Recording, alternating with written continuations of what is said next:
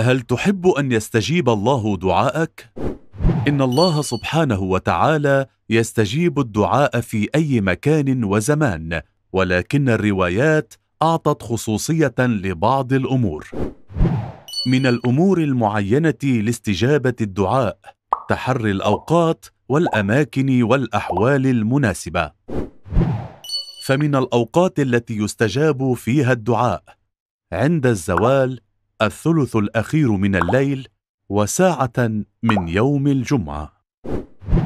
ففي الرواية عن أمير المؤمنين عليه السلام من كانت له إلى ربه عز وجل حاجة فليطلبها في ثلاث ساعات ساعة في يوم الجمعة وساعة تزول الشمس وساعة في آخر الليل عند طلوع الفجر. فإن ملكين يناديان هل من تائب يتاب عليه؟ هل من سائل يعطى؟ هل من مستغفر فيغفر له؟ هل من طالب حاجة فتقضى له؟ وهناك أوقات أخرى لاستجابة الدعاء ففي الرواية عن أمير المؤمنين عليه السلام اغتنموا الدعاء عند أربع عند قراءة القرآن وعند الآذان وعند نزول الغيث وعند التقاء الصفين للشهادة.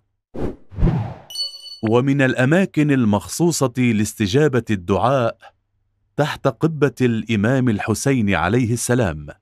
ففي الرواية أن الله عوض الحسين عليه السلام من قتله أربع خصال جعل الشفاء في تربته وإجابة الدعاء تحت قبته والأئمة من ذريته وأن لا تعد أيام زائريه من أعمارهم.